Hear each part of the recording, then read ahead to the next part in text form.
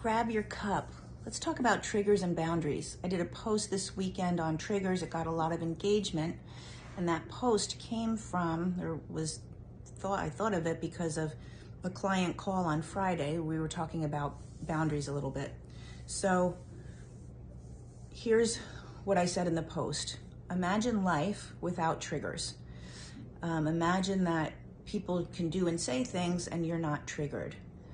So, why do we get triggered? It's an opportunity to look and see what is not yet healed in me. What is the thing that I'm responding to that's coming from here, not coming from out there, which then is going to reflect our boundaries because boundaries, even healthy boundaries, come from a place of trying to control and manipulate what's out there.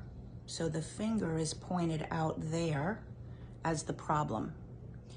When we point the finger here, not as a problem, but as an opportunity to see what is it that I still need to address. Now our boundaries come from let me stay in alignment with myself. And I don't have to accept anything that anybody else does, but I'm not going to be upset about it. I'm just going to move naturally somewhere else if something's happening that's not in alignment with me. So let me give you two examples. The first example is when someone is triggered and not healed and using boundaries in a way that is more controlling and manipulative. So I had a client who had had some surgery. She wasn't happy with the area of the surgery and how it looked afterwards, I think particularly the scar tissue. So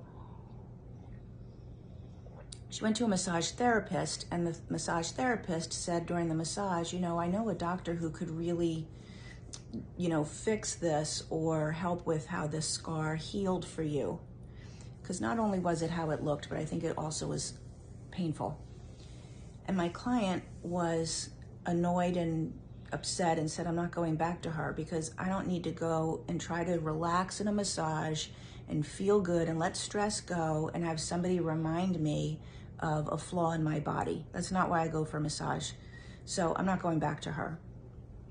Now, it really wasn't. So the, the boundary she set up is I'm not going back to her. She said something that upset me.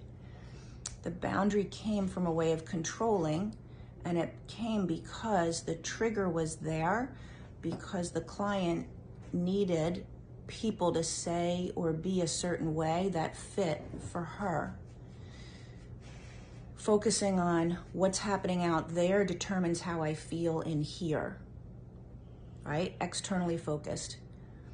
Internally focused, if, if she was, you know, focusing so that not being a victim to what's happening to her, but going, wow, I noticed when she said that, I, I had this response. What was that about? I think I really have some issue around self acceptance. Like this scar just represents for me an opportunity to love myself exactly as I am, even with this scar. And if I want to fix it, because then maybe I won't have some pain around there or I'll feel, you know, I'll like better how it looks, that's fine. But right now, I'm, I'm upset because I feel like there's something wrong with me. That's an opportunity to see what happened and to heal the thing so that she's no longer triggered by it an example of having a boundary that comes from looking inward uh, I'll use my own life. So I don't really listen to the news anymore. I just I just don't, which sometimes me leaves me like I have to ask people what's going on because I'm really not paying attention to the news. But what I decided for myself and what's in alignment for me is I want to spend my day as much as possible in emotions that feel good, the feeling more peaceful, all of that. And the news feels like it's being, it's very bombarding with negative energy. So I, I, I don't watch the news because it's not in alignment with how I want to spend my day. But I'm not, I don't get mad about the news. I don't, if I hear something, you know, be like triggered by it. Here's another example you know that I lost my daughter a few years ago. Someone recently said was telling me a story about another family that lost their child and she said I don't want to trigger you. But I'm not triggered when I hear about the loss of other children because I've done the work to heal and to come to the place where I am okay that loss happens in life. I understand that that's part of life and I'm healed about that. If I stayed in the place of life happened to me, that's pointing the finger out. Life happened to me. Life took my child before I thought that should happen, right? It was out of the order of things. That's not supposed to happen to someone. If I was staying there in that place, then I would be triggered when I hear of somebody else losing their child.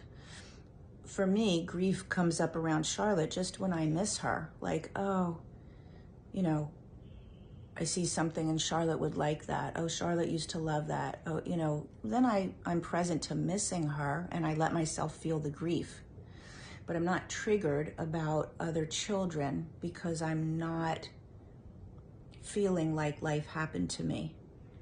I'm looking at what do I need to do to to be in alignment with the ebb and flow that life actually is. Okay, so I hope those examples are helpful, but use your triggers as an opportunity to say, wow, what is it in me? Why am I responding that way? What am I telling myself? What do I still need to? Not that we need to.